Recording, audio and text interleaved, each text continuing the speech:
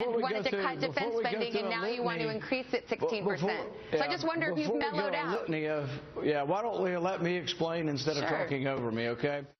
Whoa. Well, that didn't go well. Rand Paul under attack from the media saying that he's sexist and not ready for the race after interviews like that one. As for the 2016, uh, it's ramping up, as you know. Will the mainstream media, will other media outlets treat, treat the GOP candidates fairly? Probably not. Uh, here to react, former governor of Arkansas and 2008 presidential candidate Mike Huckabee, who joins us from Iowa, of all places. Governor, good morning to you.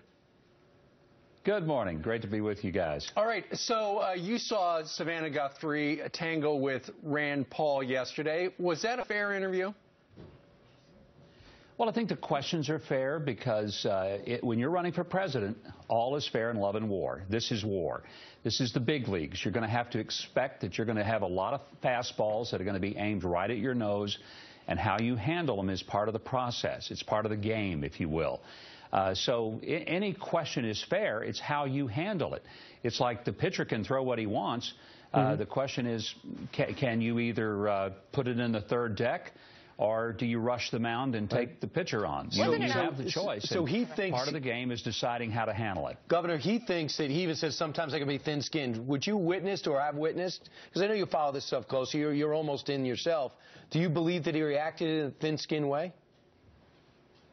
You know, I think what you have to always do, Brian, is, is to remember that when you're being asked a question by the press on television, the audience is not the reporter. The audience is going to be the viewer. Right. And so you're trying to communicate your message to the viewer, not just to the reporter.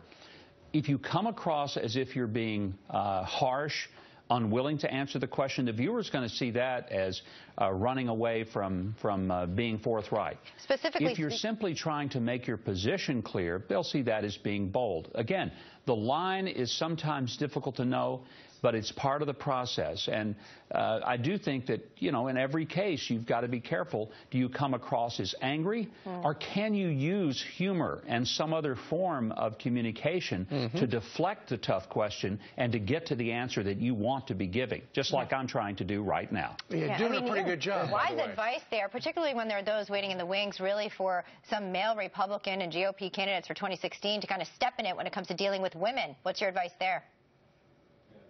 Well, I, I do think that there's always that danger. Whether it's true or not, uh, there's going to be this narrative that there's a war on women. I mean, we, yep. we saw that before. I think yeah. it failed on the Democrats' part, but it doesn't mean that because something has failed, they're not going to keep using it.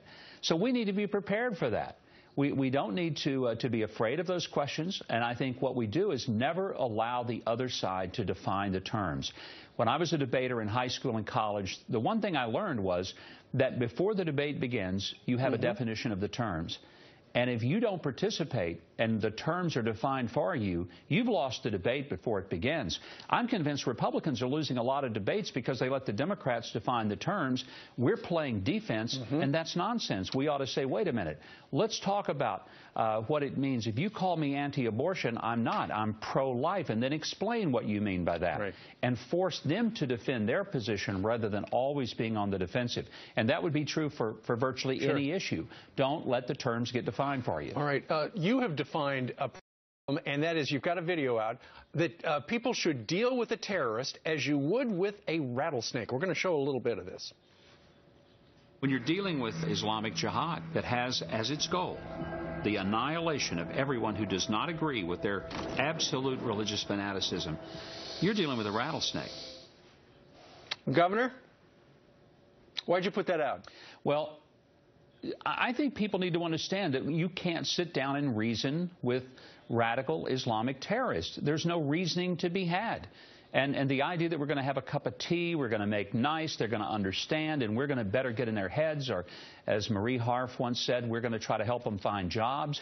That's nonsense. We're dealing with people who have very intentionally told us they want to kill every last one of us uh, we have to recognize the danger for what it is and to, uh, to cut its head off before it bites us and kills us. It's pretty well, to me, that simple. I imagine your time, you're going to be uh, talking about your day. This was Rand Paul week. Uh, two weeks ago was Ted Cruz week. Soon it'll be Mike Huckabee week.